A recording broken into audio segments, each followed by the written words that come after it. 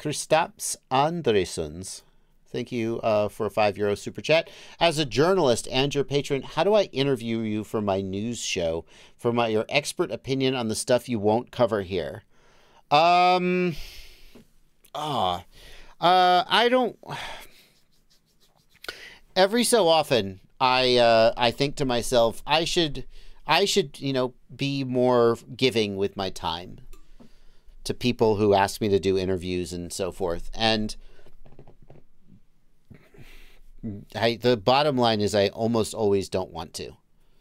And uh, just I'm a, I'm an introverted person, which is weird considering that I uh, my career. But the difference between an interview or a podcast and this is that I just get to cut it off whenever I want and then it's over. And you know, going I don't know, it's different. Um so like I don't know. You could probably you can message me I don't know. Message me on Patreon, I guess, and we can talk about it, but no promises. I, I, I actually really don't like doing that kind of stuff. Like some usually when I do it, it's okay. Um, but I almost never want to do it. You know. Um, yeah. Because, like, there'll be a time when I have to show up and sit down, and I'll, like, have to. I don't know. It just feels like work. This feels like work. And I don't like it.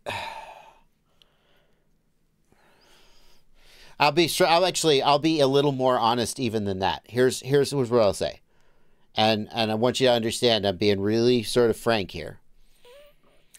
When something makes me make that face and go, "Oh, this feels like work." The next thing I do is I charge money for it. And then I'm like, "Okay, well, I'm working, but at least I'm getting, you know, making money." And it's really rude when someone comes and says, "Hey, do you want to appear on my podcast?"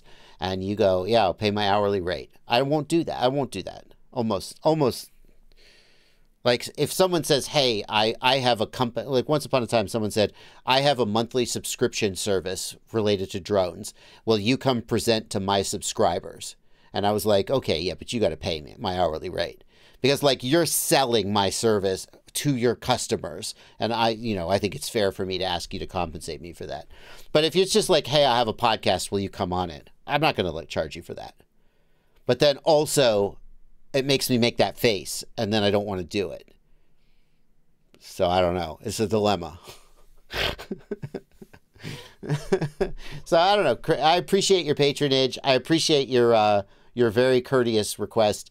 Message me and we'll talk about it. But know that my fundamental feeling about it is to be like, oh, you never know.